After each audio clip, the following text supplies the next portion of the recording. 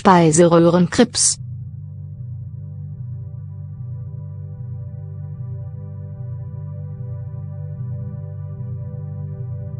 Speiseröhrenkrebs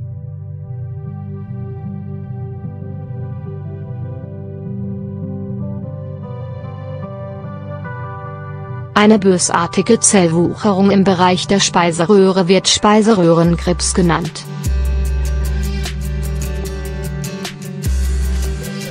In der Fachsprache wird Speiseröhrenkrebs als Asphagus-Karzinom bezeichnet.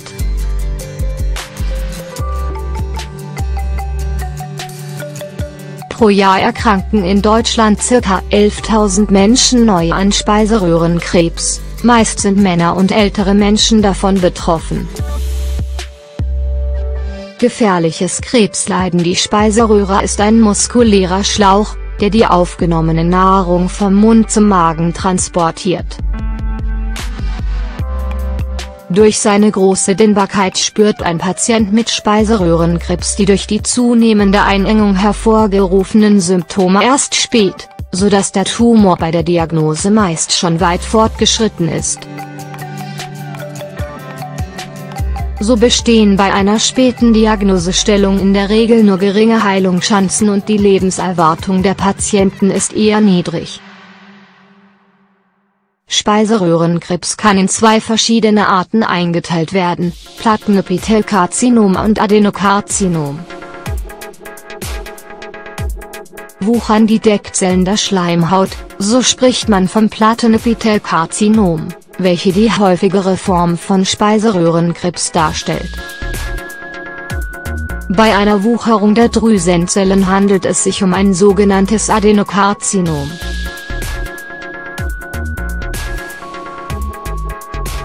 Speiseröhrenkrebs, Ursachen beim Plattenepitelkarzinom Die Ursachen des Speiseröhrenkrebses sind sehr vielfältig und viele Faktoren sind bisher nicht sicher geklärt. Dennoch lassen sich einige Faktoren eindeutig mit der Entstehung des Speiseröhrenkrebses in Verbindung bringen. Speiseröhrenkrebs vom Plattenepithelkarzinom-Typ findet sich meist im oberen Teil der Speiseröhre. Einem Plattenepithelkarzinom liegen insbesondere folgende Ursachen zugrunde, die wichtigsten Risikofaktoren sind das Rauchen und der Alkohol. Sie sind für drei Viertel aller Plattenepithelkarzinome ursächlich.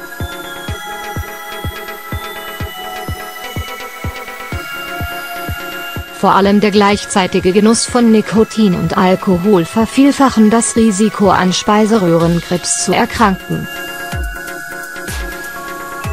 Zu heiße oder zu scharf gewürzte Speisen und Getränke greifen die Schleimhaut der Speiseröhre an und können so zu Speiseröhrenkrebs führen.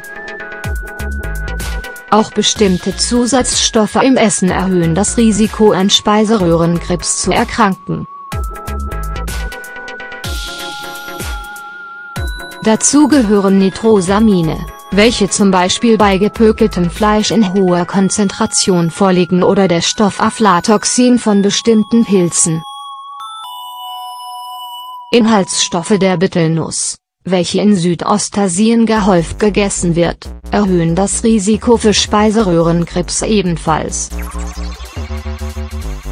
Verzungen mit Lauge oder Bestrahlungen können die Schleimhaut schädigen und so auch nach Jahren noch zu Speiseröhrenkrebs führen. Des Weiteren können bestimmte angeborene Fehlbildungen Ursache für Speiseröhrenkrebs sein.